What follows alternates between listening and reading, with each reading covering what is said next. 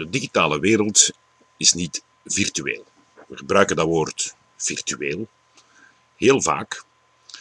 Uh, en eigenlijk is dat een heel fout woord voor een deel van onze sociale omgeving die, die inmiddels helemaal is geïntegreerd in het alledaags leven. En dus we, we gaan heel vaak nog spreken over de echte wereld, en dat is dan een wereld van, van echte mensen in echte omgevingen, hè, waar we elkaar kunnen zien en aanraken en ruiken, uh, versus dan een virtuele wereld die dan zo'n beetje de suggestie heeft dat die niet echt is.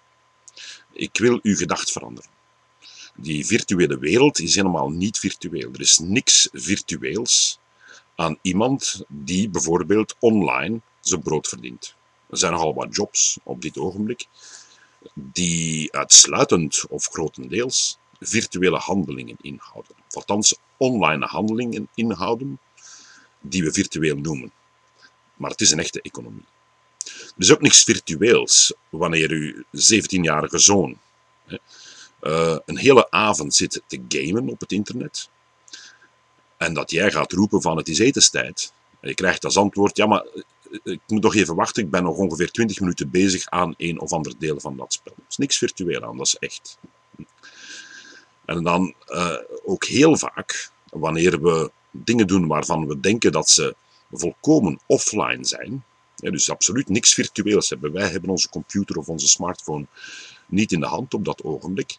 Dan nog heb je die online dimensie ervan. Bijvoorbeeld is winkelen. Je gaat gewoon winkelen. Uh, en het moment dat er wordt afgerekend, dan is het heel vaak de andere die daar een online dimensie aan geeft door middel van gewoon de elektronische kassa. Die dingen worden gelogd, die dingen worden uh, eigenlijk deel van een online boekhouding en ook van een online systeem van uh, bijvoorbeeld het verzamelen van gegevens over wie we zijn wanneer we dingen aankopen. Een soort profiel van de consument. Ik denk ook gewoon aan een offline handeling zoals gaan wandelen in een omgeving waar heel veel bewakingscamera's hangen. Ik woon in Antwerpen, ik weet waarover ik spreek. Dus op dat ogenblik ben ik niet degene die mijn handelingen die online dimensie geeft, maar die online dimensie wordt gegeven aan mijn handelingen door anderen. Het is eigenlijk op dit moment heel moeilijk om gewone alledaagse handelingen te bedenken die geen online dimensie hebben. Eh, eigenlijk leven we voortdurend op een snijpunt van online en offline. En het woordje virtueel is daar eigenlijk een hele foute, een hele foute naam voor. Dus laat ons dat woordje virtueel gewoon vallen.